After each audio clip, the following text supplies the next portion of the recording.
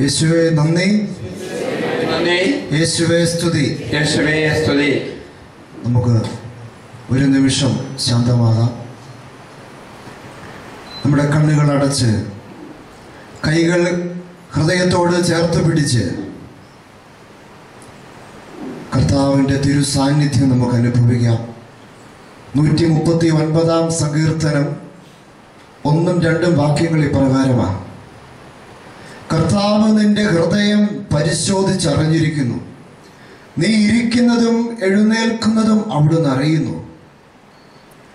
നമുക്ക് മാത്രം അറിയാവുന്ന എന്നെ അസ്വസ്ഥപ്പെടുത്തുന്ന ആകുലപ്പെടുത്തുന്ന എന്റെതായ ഒരുപിടി ദുഃഖങ്ങളും സങ്കടങ്ങളും വേദനകളും ഒക്കെ ഏറിയ നമ്മൾ ഈ പരിശുദ്ധ ദേവാലയത്തിൽ ഈ ധ്യാന കേന്ദ്രത്തിൽ നമ്മളായിരിക്കുന്നത്. ആ തമ്പുരാന്റെ മുമ്പിൽ നമുക്ക് നമ്മുടെ ഹൃദയങ്ങളും നമ്മുടെ ഹൃദയ നൊമ്പരങ്ങളും ആകുലതകളും വേദനകളും എല്ലാം ഒന്ന് തുറന്ന് ആ കർത്താവിനെ എന്റെ മനസ്സിനെ അറിയുന്ന എന്നെ അറിയുന്ന കർത്താവിലേക്ക് അവ മൊത്തം നമുക്കൊന്ന് വിട്ടുകൊടുക്കാം ചൊല്ലിത്തരുന്ന പ്രാർത്ഥന നമുക്ക് ഏറ്റുചൊല്ലാം. കർത്താവായ ഈശോയെ തീഷ്ണതയോടുകൂടി കർത്താവിന്റെ സാന്നിധ്യം അനുഭവിച്ചുകൊണ്ട് നമുക്ക് പ്രാർത്ഥിക്കാം. കർത്താവായി കർത്താവായ ഈശോയെ ഈ നിമിഷങ്ങളിൽ ഈ നിമിഷങ്ങളിൽ ഞങ്ങളെ സ്പർശിക്കണമേ. ഞങ്ങളെ സ്പർശിക്കണമേ. ഞങ്ങളുടെ ഹൃദയങ്ങളിലേക്ക് ഞങ്ങളുടെ ഹൃദയങ്ങളിലേക്ക് ദൈവസ്നേഹത്തിന്റെ ദൈവസ്നേഹത്തിന്റെ അഭിഷേകം ചൊരിയണമേ. അഭിഷേകം ചൊരിയണമേ. നിന്റെ സാന്നിധ്യത്താൽ നിന്റെ സാന്നിധ്യത്താൽ ഞങ്ങളെ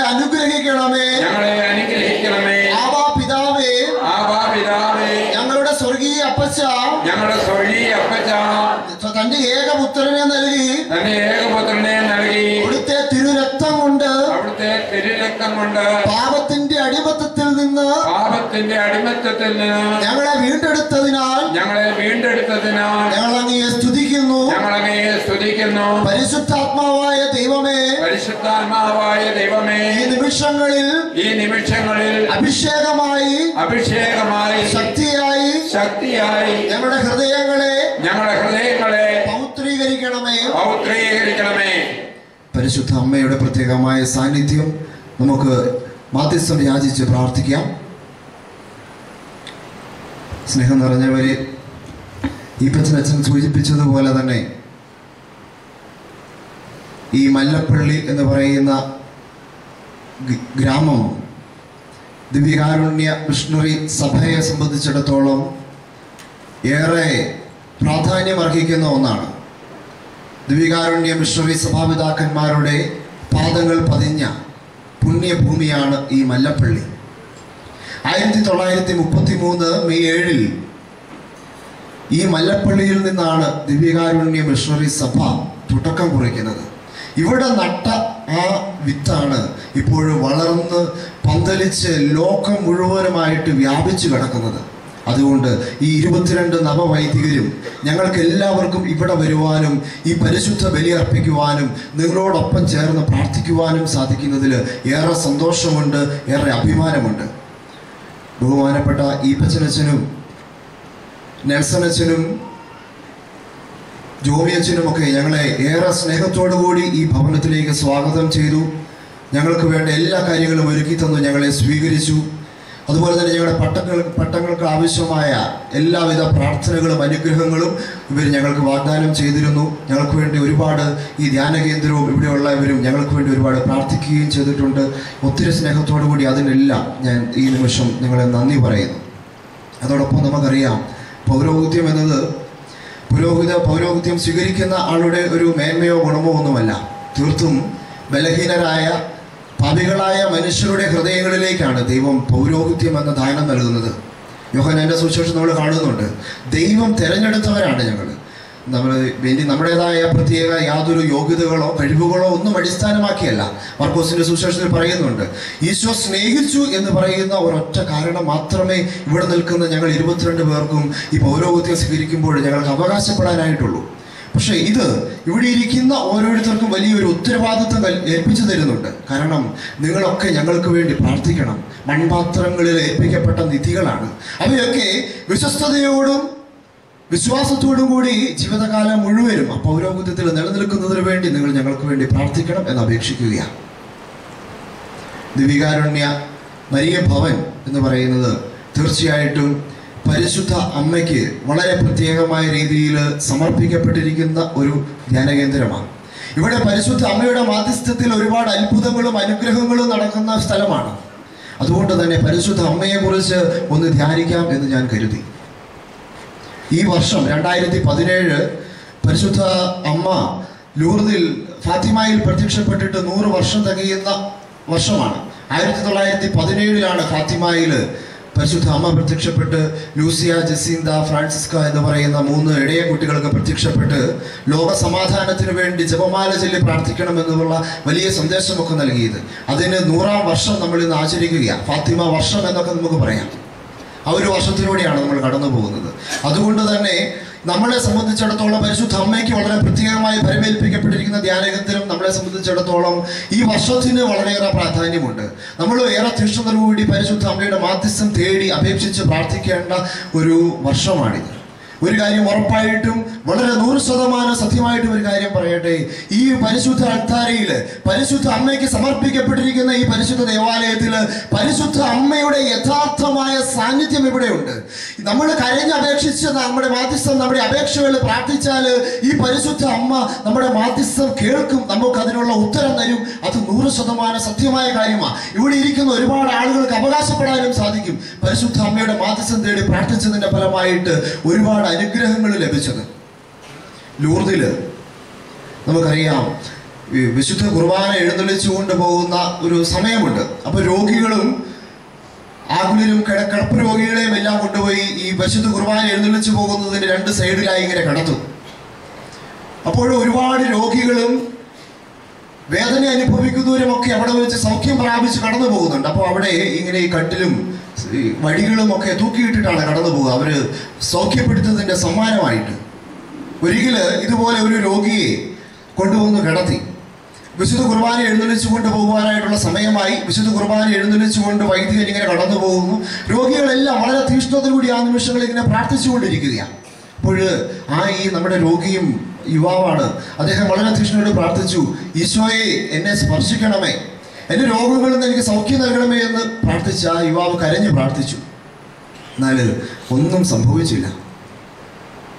അദ്ദേഹം വീണ്ടും അടുത്ത ദിവസം അല്പം കൂടി തീഷ്ണതയോടെ പ്രാർത്ഥിച്ചു കരഞ്ഞു പ്രാർത്ഥിച്ചു ഈശോയെ എന്നെ തുടരണമേ എന്നെ സൗഖ്യപ്പെടുത്തണമേ എന്ന്. അന്നും വൈദികൻ വിശുദ്ധ കുർബാനയായിട്ട് കടന്നുപോയി. അദ്ദേഹത്തിന്റെ ജീവിതത്തിൽ യാതൊരു മാറ്റവും സംഭവിച്ചില്ല. മൂന്നാമത്തെ ദിവസം അദ്ദേഹം അദ്ദേഹത്തിന്റെ പ്രാർത്ഥന ഒന്ന് മാറ്റി. അദ്ദേഹം ഇപ്രകാരം പ്രാർത്ഥിച്ചു ഈശോയെ നീ ഇന്ന് എന്നെ സുഖപ്പെടുത്തിയില്ല എങ്കിൽ ഞാൻ പരിശുദ്ധ അമ്മയോട് പറയും. ആ നിമിഷം അദ്ദേഹം സുഖം പ്രാപിച്ചു. ഇവിടെ നമ്മൾ മനസ്സിലാക്കേണ്ടത് ഈശോ ഒരിക്കലും പരിശുദ്ധ അമ്മയെ പേടിച്ചിട്ട് സൗഖ്യം നൽകിയതല്ല. മറിച്ച് പരിശുദ്ധ അമ്മയുടെ മാധ്യസ്ഥത്തിന്റെ ശക്തിയാണ്. പരിശുദ്ധ അമ്മയോട് മാധ്യസ്ഥം തേടി നമ്മൾ ജപമാല ചൊല്ലി പ്രാർത്ഥിച്ചാൽ നമ്മുടെയൊക്കെ ജീവിതത്തിലും ഇതുപോലെ അത്ഭുതങ്ങൾ നടക്കും എന്നതിന്റെ തെളിവാണ്. നമ്മളൊക്കെ ഒരുപാട് കേട്ടിട്ടുള്ള ഒരു അത്ഭുതമാണിത്. അതുപോലെ ആയിരത്തി തൊള്ളായിരത്തി നാൽപ്പത്തി അഞ്ച് ഓഗസ്റ്റ് ആറ് എന്ന് പറയുന്ന ദിവസം നമുക്ക് ഒക്കെ ഏറെ പരിചിതമായിട്ടുള്ളൊരു ദിവസമാണ്. കാരണം നമ്മൾക്ക് ചരിത്ര പഠന ക്ലാസ്സുകളിൽ നമ്മൾ കേൾക്കാൻ സാധ്യതയുള്ള ഒരു ദിനമാണ്. അന്നാണ് ജപ്പാനിലെ ഹിരോഷിമയിൽ ആദ്യമായിട്ട് യു എസ് ആറ്റം ബോംബ് ആക്രമണം നടത്തുന്നത്. ആ ആദ്യ ദിനത്തിൽ തന്നെ ആറ്റം ബോംബ് ആക്രമണം നടത്തി ആദ്യ ആ നിമിഷത്തിൽ തന്നെ ഏതാണ്ട് എൺപതിനായിരത്തോളം വരുന്ന ആളുകൾ അവിടെ വെച്ച് മരിച്ചു വീണു. തുടർന്ന് റേഡിയേഷന്റെ ഒക്കെ ഫലമായിട്ട് ഒരു ലക്ഷത്തി മുപ്പതിനായിരത്തോളം വരുന്ന ജനങ്ങൾ ഈ ബോംബാക്രമണത്തിന്റെ ഫലമായിട്ട് മരിച്ചു വീഴുകയാണ്. എന്നാൽ ഈ ബോംബ് ആക്രമണം നടത്തിയതിന്റെ പ്രഭവസ്ഥാനത്തിന് ഏതാണ്ട് അടുത്ത് തന്നെയായിട്ട് സ്ഥിതി ചെയ്യുന്ന ഒരു ദേവാലയമുണ്ട്. ജസ്യൂട്ടുകാരുടെ സ്വർഗാരോപിത മാതാവിന്റെ നാമത്തിലുള്ള ഒരു പരിശുദ്ധ ദേവാലയമാണ്. അവിടെ നാല് വൈദികർ താമസിച്ചിരുന്നു. ആ വൈദികർക്ക് യാതൊന്നും സംഭവിച്ചില്ല. സ്ഫോടനത്തിന്റെ ഒക്കെ ഫലമായിട്ട് ചില ചില്ലുകളൊക്കെ തകർന്ന് അവരുടെ ശരീരത്തിൽ പതിച്ചു എന്നല്ലാതെ യാതൊരുവിധ അപകടങ്ങളും അവരുടെ ജീവിതത്തിൽ ഉണ്ടായില്ല. അപ്പോൾ അവരെ പരിശോധിച്ച ഡോക്ടർമാർ വിധി എഴുതി ഇവർക്ക് അകാലമായിട്ടുള്ള മരണവും മാരകമായിട്ടുള്ള രോഗവും ഇവിടെ പിടിപെടുമെന്ന്. എന്നാൽ മുപ്പത് വർഷങ്ങൾക്ക് ശേഷം അതിലെ ഒരു വൈദികനായ ഫാദർ ഷിഫർ ഇപ്രകാരം പറഞ്ഞു ഞങ്ങൾ ജീവിച്ചിരുന്നത് ഫാത്തിമായിലെ മാതാവ് പ്രത്യക്ഷപ്പെട്ട് പറഞ്ഞ സന്ദേശത്തിന്റെ അടിസ്ഥാനത്തിലാണ്. ഞങ്ങൾ എന്നും ജപമാല ചൊല്ലി പ്രാർത്ഥിച്ചിരുന്നുവെന്ന്. തുടർന്ന് അവരെ ഇരുന്നൂറോളം വരുന്ന ശാസ്ത്രജ്ഞന്മാർ അവരെ പരിശോധന നടത്തി. അവരിൽ ഒന്നും യാതൊരുവിധ വ്യത്യാസങ്ങളും കണ്ടെത്താനായിട്ട് സാധിച്ചില്ല. സ്നേഹം നിറഞ്ഞവരെ ഞാൻ പറഞ്ഞത് അറ്റം ബോംബ് പോലും മുട്ടുമടക്കുന്ന ജപമാലയുടെ ശക്തിയെക്കുറിച്ചാണ് ഞാൻ നിങ്ങളോട് പറയുവാനായിട്ട് ആഗ്രഹിച്ചത്. നമ്മുടെയൊക്കെ ജീവിതത്തിലും ഇതുപോലെ ആറ്റം ബോംബ് പോലെയുള്ള ശക്തമായ പ്രതിസന്ധികളും രോഗങ്ങളും സഹനങ്ങളും ഒന്നും ഇല്ല എങ്കിലും നമ്മുടെയും ഒക്കെ ജീവിതത്തിൽ ഇതുപോലെ പരിശുദ്ധ അമ്മയുടെ തേടി പ്രാർത്ഥിച്ചാൽ സങ്ക സഹനങ്ങളുടെയും വേദനകളുടെയും ഒക്കെ മധ്യേ പരിശുദ്ധ അമ്മ നമുക്ക് വലിയ ശക്തിയാണ്. എന്റെ വ്യക്തിപരമായ അനുഭവം ഞാനൊന്ന് പങ്കുവയ്ക്കാം. തുടക്കത്തിൽ ബഹുമാനപ്പെട്ട അയ്യപ്പച്ചനച്ഛൻ സൂചിപ്പിച്ചതുപോലെ എനിക്ക് വൈദിക പരിശീലനത്തിന്റെ ഒരു ആറാം വർഷം കഴിഞ്ഞ ഒരു ആറ് വർഷങ്ങൾക്ക് മുമ്പ് എന്റെ ഇടത് കാലിന് ബോൺ ക്യാൻസർ ബാധിച്ച് ഇടത് കാൽ ഇപ്പോൾ മുട്ടിന് മുകളിൽ നിന്ന് മുറിച്ചു മാറ്റിയിരിക്കുകയാണ്. തുടർന്ന് ഒരു വർഷത്തിന് ശേഷം എന്റെ ശ്വാസകോശം ശ്വാസകോശത്തിന് ക്യാൻസർ ബാധിച്ച് ലെഫ്റ്റ് ശ്വാസകോശം മുറിച്ചു മാറ്റിയിരിക്കുകയാണ്. ഞാൻ ഒരു അതികഠിനമായ വേദനയുടെ നിമിഷങ്ങളിലും ശക്തമായിട്ടുള്ള സഹനത്തിന്റെ നടുവിലൂടെയൊക്കെ കടന്നു പോകേണ്ടി വരുന്ന ഒരു ഒന്ന് ഒന്ന് രണ്ട് വർഷങ്ങൾ എന്റെ ജീവിതത്തിലുണ്ടായി.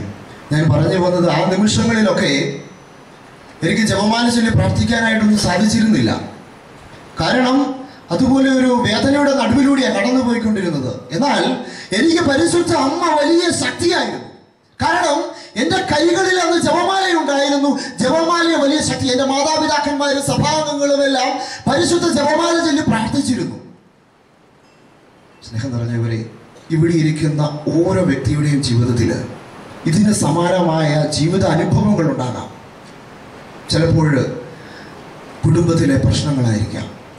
ആരും ആരും എന്നെ മനസ്സിലാക്കുന്നില്ല എന്നെ തിരിച്ചറിയുന്നില്ല എന്ന വേദനയായിരിക്കാം. സഹനങ്ങളും രോഗങ്ങളും ഒറ്റപ്പെടുത്തലുകളും ഒക്കെ ആയിരിക്കാം. ഒന്നിനു പുറകെ ഒന്നൊന്നായി കടന്നു വരുന്ന ജീവിതത്തിലെ പരാജയങ്ങളായിരിക്കാം. അവിടെയൊക്കെ നമ്മളും ഈ ജപമാല കൈകളിലെന്തി പരിശുദ്ധ അമ്മയുടെ പക്കലേക്ക് ചെന്നാൽ പരിശുദ്ധ അമ്മ അവളുടെ നീല മേലകയ്ക്കുള്ളിൽ നമ്മളെ സംരക്ഷിക്കും.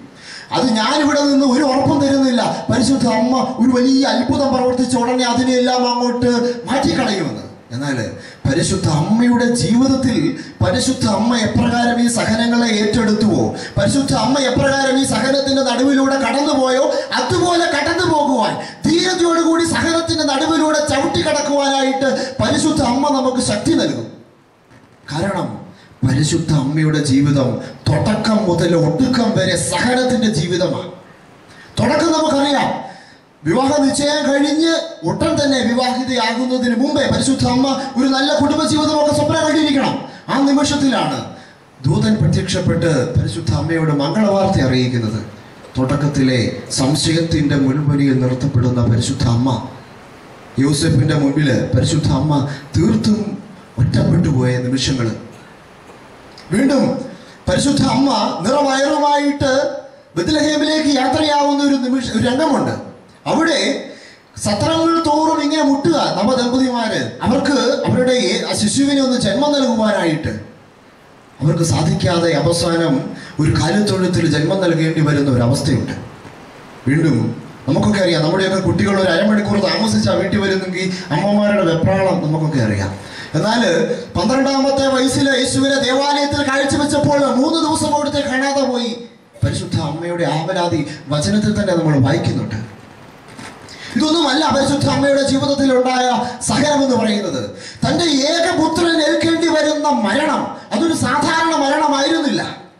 ഒരു തെറ്റും ചെയ്യാതിട്ടും ഉട്ടു തുണി പോലും പറിച്ച് പൊരിയുന്ന വെയിലത്ത് കുരിശിന്മേൽ ആണികളിൽ രക്തം ചൊലിച്ച് തലയിലെ മുൾമുടി ധരിപ്പിച്ചുകൊണ്ട് വേദന കൊണ്ട് പിളയുന്ന തന്റെ ഏക മകനെ കുരിശൻ ചുവട്ടിൽ നിന്ന് കാണേണ്ടി വരുന്ന ഒരു അമ്മയുടെ വേദന എന്ന് പറയുന്നത് ഇവിടെ ഇരിക്കുന്ന അമ്മമാർക്കൊന്നും മനസ്സിലാകുകയില്ല. അതികഠിനമായ വേദനയുടെ നിമിഷങ്ങളിൽ കടന്നുപോയപ്പോൾ ആ യേശുനാഥൻ ഒരിറ്റ് വെള്ളത്തിന് വേണ്ടി കരയുന്നുണ്ട്. ആ നിമിഷത്തിൽ പോലും നിസ്സഹായയായി നിൽക്കുന്ന പരിശുദ്ധ അമ്മയാണ് കാണുന്നത്. തുടർന്ന് ആ യേശുവിന്റെ ശരീരം ആ മടിയിൽ കിടത്തുന്ന ഒരു രംഗം. വീണ്ടും യേശുവിനെ കബറടക്കി തിരിച്ചു വരുമ്പോൾ യോഹന്നാന്റെ കയ്യും പിടിച്ചുകൊണ്ട് പരിശുദ്ധ അമ്മ മലയിറങ്ങുമ്പോൾ പരിശുദ്ധ അമ്മയുടെ ഉള്ളിന്റെ ഉള്ളിൽ മന്ത്രിക്കുന്നുണ്ട് എനിക്കാരുമില്ല. ഞാൻ ഏകയാണ് അനാഥിയാണ് വിധവയാണ്. അവിടെ പരിശുദ്ധ അമ്മ ഉള്ളിന്റെ ഉള്ളിൽ മന്ത്രിക്കുന്നുണ്ടാവും എന്റെ രക്ഷകനായ ദൈവത്തിൽ ഞാൻ ആനന്ദിക്കുന്നു.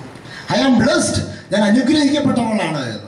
സ്നേഹം നിറഞ്ഞവരെ ഞാൻ പറഞ്ഞു വന്നത് നമ്മുടെ ജീവിതത്തിലെ വേദനയുടെയും സഹനത്തിന്റെയും നടുവിലൂടെ ഇങ്ങനെ കടന്നു പോകുമ്പോൾ പരിശുദ്ധ അമ്മയുടെ കൈ പിടിച്ച് നമ്മൾ നടന്നാൽ പരിശുദ്ധ അമ്മ എപ്രകാരം ഈ സഹനത്തിന്റെ നടുവിലൂടെ കടന്നുപോയി അവയെ രക്ഷാകര മൂല്യമുള്ളതാക്കി മാറ്റി സ്വർഗരാജ്ഞി പദം ചൂടിയോ? അതുപോലെ അതുപോലെ തന്നെ നമ്മുടെ ഈ ജീവിതത്തിൽ സഹനത്തിന്റെ നടുവിലൂടെ കടന്നുപോയി അവയെ രക്ഷാകര മൂല്യമുള്ളതാക്കി മാറ്റി അങ്ങ് സ്വർഗത്തിൽ എത്തിച്ചേരുവാനായിട്ട് ഈ അമ്മ ഈ ജപമാല കയ്യിലേന്തി കരഞ്ഞു പ്രാർത്ഥിച്ചാൽ നമ്മളെ സഹായിക്കും നമ്മളെ ശക്തിപ്പെടുത്തും. ഇതുപോലെ വളരെ സഹനത്തിന്റെ നടുവിലൂടെ പരിശുദ്ധ അമ്മയെ മാത്രം കൂട്ടുപിടിച്ച് വിശുദ്ധനായി തീർന്ന ഒരു പരിശുദ്ധ പിതാവുണ്ട്. പരിശുദ്ധ പിതാവാണ് വിശുദ്ധനായ ജോൺ പോൾ രണ്ടാമൻ മാർപ്പാപ്പ. രണ്ടാം ജോൺ പോൾ രണ്ടാമൻ മാർപ്പാപ്പയുടെ ജീവിതം തുടക്കം മുതൽ കഷ്ടപ്പാടിന്റെ ജീവിതമായിരുന്നു. ഒൻപതാമത്തെ വയസ്സിൽ തന്റെ അമ്മ മരിച്ചുപോയി. പതിനൊന്നാമത്തെ വയസ്സിൽ തന്റെ സഹോദരൻ മരിച്ചു. ഇരുപത്തി ഒന്നാമത്തെ വയസ്സിൽ തന്റെ അപ്പനും മരിച്ചു. അദ്ദേഹം ഒറ്റയ്ക്കാണ് ജീവിക്കുന്നത്. ഒരു നേരത്തെ ഭക്ഷണത്തിന് വേണ്ടി അങ്ങ് പാറമടയിൽ പോയി അധ്വാനിക്കേണ്ട അവസ്ഥ അദ്ദേഹത്തിനുണ്ടായി.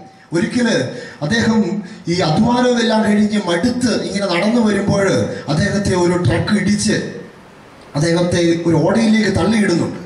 അപ്പോൾ ആ ട്രക്ക് ഇടിച്ച് ആ ഓടയിൽ കിടന്നുകൊണ്ട് പരിശുദ്ധ പിതാവ് കരഞ്ഞു പ്രാർത്ഥിക്കുക കരയുക. എനിക്ക് ആരുമില്ല എനിക്ക് അപ്പനില്ല അമ്മയില്ല സഹോദരങ്ങൾ ആരുമില്ല എനിക്ക് ആരുമില്ല എന്ന് പറഞ്ഞ് ഒരു കൊച്ചു കുഞ്ഞിനെ പോലെ കിടന്ന് കരയുമ്പോൾ ആ പരിശുദ്ധ പിതാവ് തല ഉയർത്തി നോക്കി. തല ഉയർത്തി നോക്കിയപ്പോൾ കാണുന്നത് ആ ഇടവക ദേവാലയത്തിൽ സ്ഥാപിച്ചിരുന്ന പരിശുദ്ധ അമ്മയുടെ തിരുസ്വരൂപമാണ് അവിടെ കിടന്നുകൊണ്ട് പരിശുദ്ധ പിതാവ് ആ അമ്മയോട് പറയുക അമ്മ എനിക്ക് ആരുമില്ല എനിക്ക് അപ്പനില്ല സഹോദരങ്ങളില്ല സഹോദരിയില്ല അമ്മയില്ല. പരിശുദ്ധ അമ്മയെ ഞാൻ പൂർണമായി നിന്റേതാണ്. അമ്മയ്ക്ക് പരിശുദ്ധ പിതാവ് പൂർണമായി തന്നെ തന്നെ സമർപ്പിച്ചു. തുടർന്ന് അദ്ദേഹം വൈദികനായി കർദിനാളായി അൻപത്തി എട്ടാമത്തെ വയസ്സിൽ അദ്ദേഹം മാർപ്പാപ്പയായി. മാർപ്പാപ്പയായതിനു ശേഷം അദ്ദേഹം തന്റെ ആപ്തവാക്യമായി തിരഞ്ഞെടുത്തത് അന്ന് ആ കുഴിയിൽ കിടന്നുകൊണ്ട് പറഞ്ഞ വാക്കുകളാണ് പരിശുദ്ധ അമ്മേ ഞാൻ പൂർണമായി നിന്റേതാണ് ലാറ്റിനിൽ അതിലെ തോത്തൂസ് തൂസ് എന്ന് പറയും. പരിശുദ്ധ അമ്മേ ഞാൻ പൂർണമായി നിന്റേതാണ് എന്ന്. തുടർന്ന് അദ്ദേഹത്തെ കാണുവാനായിട്ട് വന്ന ഒന്നര ലക്ഷത്തോളം വരുന്ന ഭക്തജനങ്ങളോട് പരിശുദ്ധ പിതാവ് ഇപ്രകാരം പറയുന്നുണ്ട്. എനിക്ക് ഏറ്റവും ഇഷ്ടപ്പെട്ട പ്രാർത്ഥന എന്ന് പറയുന്നത് പരിശുദ്ധ ജപമാലയാണ് എന്ന്. ഒരിക്കൽ ഒരു ക്രൊയേഷ്യയിലെ കത്തോലിക്ക കുടുംബങ്ങളെ മുഴുവനായിട്ട് കാണുമ്പോൾ അദ്ദേഹം പറയുന്നുണ്ട്. അദ്ദേഹം മാതാപിതാക്കളോടായിട്ട് വളരെ പ്രത്യേകമായിട്ട് പറയുന്നുണ്ട്. പ്രിയ മാതാപിതാക്കന്മാരെ നിങ്ങൾ നിങ്ങളുടെ മക്കളെ പ്രാർത്ഥിക്കാൻ പഠിപ്പിക്കുന്നതിൽ പ്രതിജ്ഞാബദ്ധരായിരിക്കുക എന്ന്. നിങ്ങളുടെ കുടുംബം ചെറിയ സെയ്യോൻ മാളിക പോലെ ആയി തീരട്ടെ എന്ന് അദ്ദേഹം കുടുംബങ്ങളോട് പ്രത്യേകമായിട്ട് ഓർമ്മിപ്പിക്കുന്നുണ്ട്. നമുക്കറിയാം അലിയബി എന്ന് പറയുന്ന തീവ്രവാദി പരിശുദ്ധ പിതാവിനെ വെടിവെച്ച് മൂന്ന് തവണ വെടിവെച്ചപ്പോൾ പരിശുദ്ധ പിതാവ് പ്രതികരിച്ചത് പരിശുദ്ധ അമ്മ എന്നെ താങ്ങി എന്നാണ്. ഈ പരിശുദ്ധ പിതാവ് പരിശുദ്ധ അമ്മയെ വിശുദ്ധ കുർബാനയുമായിട്ട് ബന്ധിപ്പിച്ചുകൊണ്ട് വിശേഷിപ്പിക്കുന്നുണ്ട്. പരിശുദ്ധ അമ്മയെ വിശുദ്ധ കുർബാനയുടെ സ്ത്രീ എന്നും ആദ്യത്തെ സക്കറാരി എന്നും ഒക്കെ വിശുദ്ധ കുർബാനയായി തീരേണ്ട യേശുവിനെ ഒൻപത് മാസത്തോളം തന്റെ ഉദരത്തിൽ വഹിച്ച പരിശുദ്ധ അമ്മായിനെ വിശുദ്ധ കുർബാനയുടെ സ്ത്രീ എന്നാണ് പരിശുദ്ധ പിതാവ് ജോൺ പോൾ രണ്ടാമൻ മാർപ്പാപ്പ വിശേഷിപ്പിക്കുന്നത്. സ്നേഹം നിറഞ്ഞവരെ നമ്മൾ ഈ നിമിഷം പരിശുദ്ധമായ കുർബാന അർപ്പിച്ചുകൊണ്ടിരിക്കുന്ന വിശുദ്ധ ബലിയിലാണ്. നമ്മൾ വിശുദ്ധ ബലിയിൽ പങ്കെടുക്കേണ്ടത് എപ്രകാരമാണെന്ന് അദ്ദേഹം പറയുന്നുണ്ട്. പരിശുദ്ധ അമ്മ അന്ന് എപ്രകാരം ആ കുരിശിന്റെ ചുവട്ടിൽ നിന്നിരുന്നുവോ അതേ ഹൃദയ വികാരത്തോടും അതേ തീഷ്ണതയോടും കൂടി വേണം നമ്മൾ വിശുദ്ധ ബലി അർപ്പിക്കുവാനായിട്ട് നമ്മൾ ഇന്ന് ഈ വിശുദ്ധ ബലി അർപ്പിക്കുമ്പോൾ ഞങ്ങൾ ഇരുപത്തിരണ്ട് പേരും വളരെ സന്തോഷത്തോടു കൂടി നമ്മുടെ കൃതജ്ഞതയോടെ ബലി അർപ്പിക്കുന്ന നിമിഷങ്ങളിൽ നമുക്കും അന്ന് കർത്താവ് കാൽവരിയുടെ വിരിമകളിൽ ഏത് വികാരത്തോടുകൂടിയാണോ മരിച്ചത് പരിശുദ്ധ അമ്മ ഏത് ഹൃദയ വികാരത്തോടു കൂടിയാണോ നിലനിന്നിരുന്നത് അതേ തീഷ്ണതയോടും തീവ്രതയോടും കൂടി നമുക്കായിരിക്കാം. പരിശുദ്ധ അമ്മ ഈ പ്രത്യേക ദിനങ്ങളിൽ നമ്മെ വളരെ പ്രത്യേകമായ രീതിയിൽ അനുഗ്രഹിക്കട്ടെ എന്ന് പ്രാർത്ഥിക്കുന്നു. തുടക്കത്തിൽ അച്ഛൻ പറഞ്ഞതുപോലെ തന്നെ ഈ ധ്യാനകേന്ദ്രം വളരെ ആളുകൾക്ക് സൗഖ്യവും ഒരുപാട് ആളുകളുടെ വേദനയും സങ്കടവും ഒക്കെ മാറ്റുന്ന വലിയ ആളുകൾ വരുന്ന വലിയൊരു പ്രസിദ്ധമായ ധ്യാനകേന്ദ്രമായി മാറട്ടെ എന്ന ഈ നിമിഷം ഞങ്ങൾ എല്ലാവരും ആത്മാർത്ഥമായിട്ട് പ്രാർത്ഥിക്കുക. പരിശുദ്ധ അമ്മയുടെ വളരെ പ്രത്യേകമായ സാന്നിധ്യം ഇവിടെ ഉണ്ടായിരിക്കട്ടെ. വിശുദ്ധ കുർബാനയുടെ കർത്താവ് വളരെ ശക്തമായ രീതിയിൽ ഇവിടെ വരുന്ന ദൈവജനത്തിന് അവരുടെ വേദനകൾക്കും ആകുലതകൾക്കും ഒക്കെ സങ്കടവും സങ്കടങ്ങൾക്കൊക്കെ ആശ്വാസവും സമാധാനവും നൽകട്ടെ എന്ന് പ്രാർത്ഥിക്കുന്നു. ദൈവം നമ്മളെ എല്ലാവരെയും സമർത്ഥമായി അനുഗ്രഹിക്കട്ടെ. വളരെ തീഷ്ണത തീഷ്ണതയോടുകൂടി ഭക്തിയോടുകൂടി നമുക്ക് ഈ പരിശുദ്ധ ബലി അർപ്പിക്കാം.